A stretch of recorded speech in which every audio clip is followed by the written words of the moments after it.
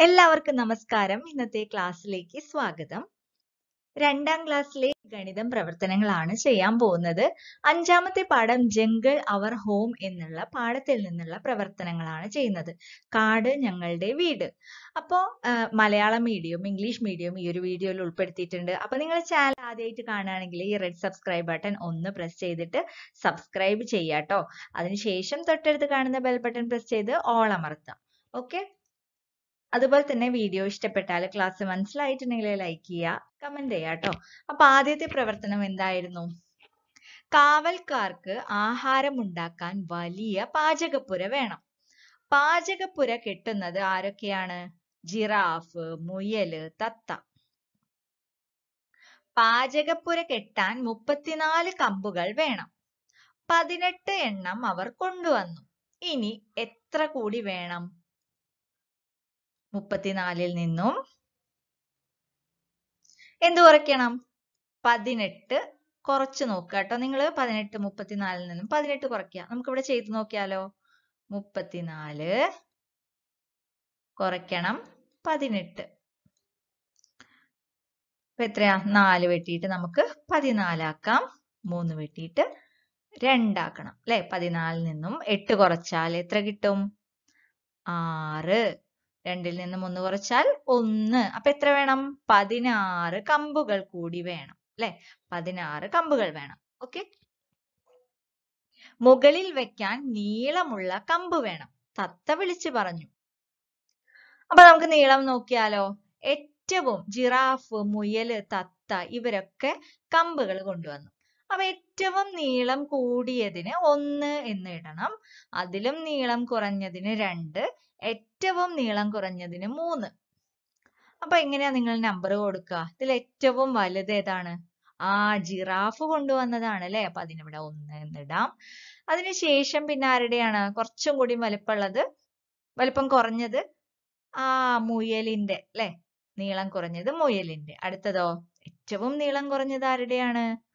ആ തത്തയുടെ അല്ലെ? തത്തയുടെ കമ്പാണ്. ഏറ്റവും നീളം കുറവ്. അപ്പൊ നിങ്ങൾക്കും ഇത് തന്നെയാണോ കിട്ടിയത്? അടുത്ത പ്രവർത്തനം നീളം കണ്ടെത്താം. കൈ കൊണ്ട് അളക്കാം. എന്താ ചെയ്യേണ്ടത്? ആ ക്ലാസ്സിലെ മേശയ്ക്കാണോ ബോർഡിനാണോ നീളം കൂടുതൽ? അളന്ന് നോക്കുക അപ്പൊ നിങ്ങളിപ്പോ സ്കൂളിലല്ലല്ലോ. അപ്പൊ നിങ്ങൾ എന്ത് ചെയ്യണം? ആ നിങ്ങളുടെ വീട്ടിലത്തെ മേശ അല്ലെങ്കിൽ വാതിൽ. അങ്ങനെ ഈ ഒരു ചതുരത്തിലുള്ള എന്ത് നോക്കണം? ചതുരത്തിൽ കാണുന്ന സാധനങ്ങൾ വെച്ചിട്ട് എന്ത് ചെയ്യണം? കൈ കൊണ്ട് അളന്ന് നോക്കണം. അപ്പൊ ഒരു കൈ ഒരു കൈ എന്ന് പറഞ്ഞാൽ ഒരു ചാൺ എന്നാണ് അർത്ഥം. അപ്പൊ മേശയുടെ നീളം എത്രയാണ്? എഴുതുക. ബോർഡിന്റെ നീളം അല്ലെങ്കിൽ നിങ്ങളുടെ വാതിലിന്റെ നീളം അങ്ങനെ അളക്കാം നിങ്ങൾക്ക്. അല്ലെങ്കിൽ കട്ടലിന്റെ നീളം. ഓക്കെ. ഏതിനാണ് നീളം കൂടുതൽ എന്നുള്ളത് എന്ത് ചെയ്യണം?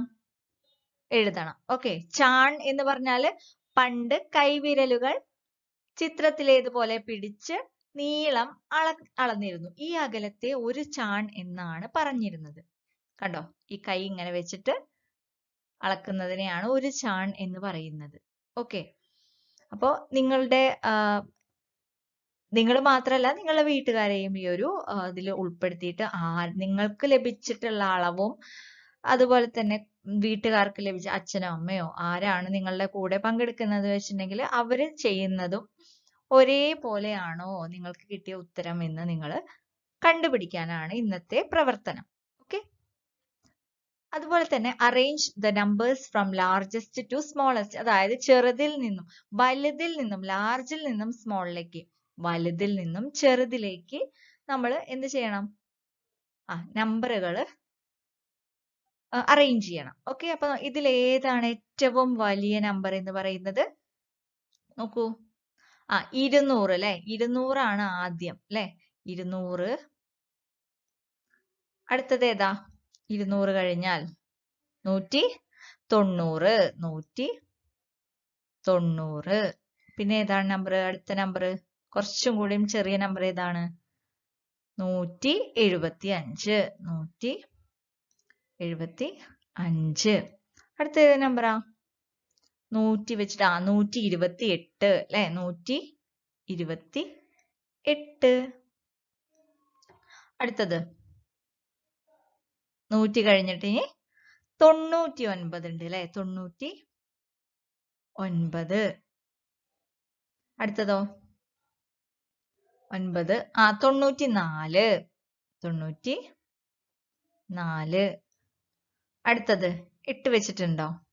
ഇല്ല. ഏഴ് ആറ് അഞ്ച് ഉണ്ട് അല്ലെ? അൻപത്തി എട്ട് അൻപത്തി എട്ട് അടുത്തത് ഏതാ? അൻപത്തി എട്ട് കഴിഞ്ഞാൽ നാൽപ്പത്തി അഞ്ച് നാൽപ്പത്തി അഞ്ച് പിന്നെ ഇരുപത്തി നാല് ഇരുപത്തിനാല്.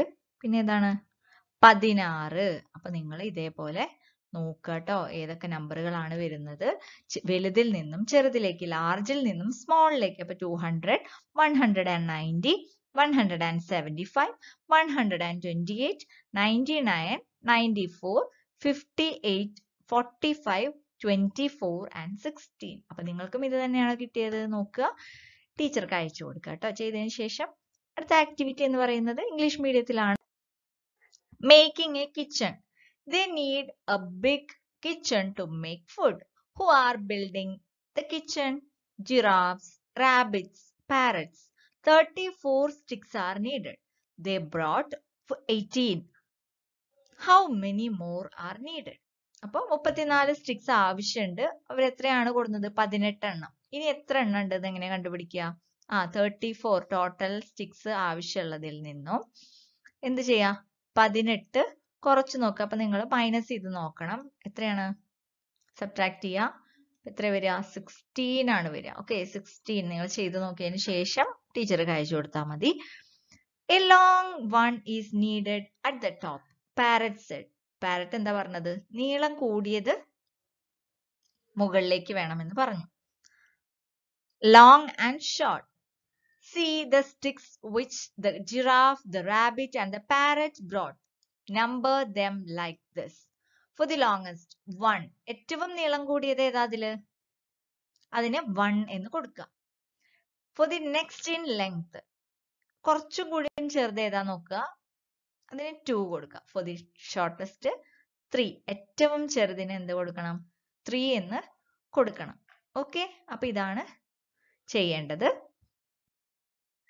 അടുത്തത് ലെറ്റ്സ് ഫൈൻഡ് ദ ലെങ്ത് കൈകൊണ്ട് ലെങ്ത് അളക്കണം. എങ്ങനെയാണ്? വിച്ച് ഇസ് ലോങ് നിങ്ങളുടെ വീട്ടിൽ ഇപ്പോൾ സ്കൂളിൽ അല്ലല്ലോ അപ്പോൾ ടേബിളും ടേബിൾ നിങ്ങൾക്ക് അളക്കാൻ പറ്റും. ബ്ലാക്ക് ബോർഡ് ഒന്നും ഉണ്ടാവില്ല. അപ്പോൾ നിങ്ങളുടെ വീട്ടിലുള്ള ഇതേപോലെ ചതുരത്തിലുള്ള ആകൃതിയിലുള്ള സാധനങ്ങൾ വെച്ചിട്ട് നിങ്ങൾ എന്ത് ചെയ്യണം? ആ ഇങ്ങനെ അളന്നു നോക്കണം. Okay length of the table കൈ കൊണ്ടാണ് അളക്കേണ്ടത്. ഹാൻഡ് സ്പാൻ ആണ് അതിന് പറയുക. ചാൺ എന്ന് പറയും. അതിന്റെ ടേബിളിന്റെ ലെങ്ത് എന്താണെന്ന് നോക്കുക. നിങ്ങൾക്ക് വേണമെങ്കിൽ വാതിലിന്റെ ലെങ്ത് നോക്കാം. ഏതാണ് കൂടുതൽ എന്ന് നോക്കണം. വിച്ച് ഈസ് ലോങ്ങർ ഏറ്റവും നീളം കൂടിയത് ഏതാണ്? അതുപോലെ തന്നെ നിങ്ങളുടെ പാരന്റ്സോ അല്ലെങ്കിൽ സിസ്റ്റേഴ്സോ ബ്രദേഴ്സോ ഒക്കെ ഇതേപോലെ അവരോട് ചെയ്യാൻ പറയാ നിങ്ങൾക്ക് കിട്ടിയ ആ ഒരു ലെങ്ത്തും അതുപോലെ തന്നെ അവർക്ക് കിട്ടിയ ലെങ്ത്തും സെയിം ആണോ എന്ന് നോക്കിയിട്ട് അത് എഴുതി വെക്കുക നോട്ടിൽ എഴുതി വെക്കുക കേട്ടോ അപ്പോൾ ഇന്നത്തെ ക്ലാസ് ഇത്രയേ ഉള്ളൂ. അപ്പൊ എല്ലാവർക്കും ക്ലാസ് ഒക്കെ മനസ്സിലായിട്ടുണ്ടാവും എന്ന് വിചാരിക്കുന്നു. നിങ്ങൾ വീഡിയോയ്ക്ക് താഴെ ഈ ഒരു റെഡ് സബ്സ്ക്രൈബ് ബട്ടൺ പ്രസ് ചെയ്തിട്ട് സബ്സ്ക്രൈബ് ചെയ്യുക. അതിനുശേഷം നോട്ടിഫിക്കേഷൻ ബെൽ ബട്ടൺ ഓൾ എന്നുള്ള ഓപ്ഷനിൽ പ്രസ് ചെയ്യുക കേട്ടോ അപ്പൊ വീഡിയോ ഇഷ്ടപ്പെട്ടാൽ ലൈക്ക് ചെയ്യുക. മനസ്സിലായിട്ടുണ്ടെങ്കിൽ നിങ്ങൾ എന്തായാലും ലൈക്ക് ചെയ്യുക ഷെയർ ചെയ്യുക നിങ്ങളുടെ ഫ്രണ്ട്സിനായിട്ട് സബ്സ്ക്രൈബ് ചെയ്യുക. അതുപോലെ തന്നെ കമന്റ് ചെയ്യുക. നിങ്ങളുടെ അഭിപ്രായങ്ങൾ കമന്റ് ചെയ്യുക. അപ്പം ഇനി അടുത്ത വീഡിയോയിൽ കാണാം. Thank for watching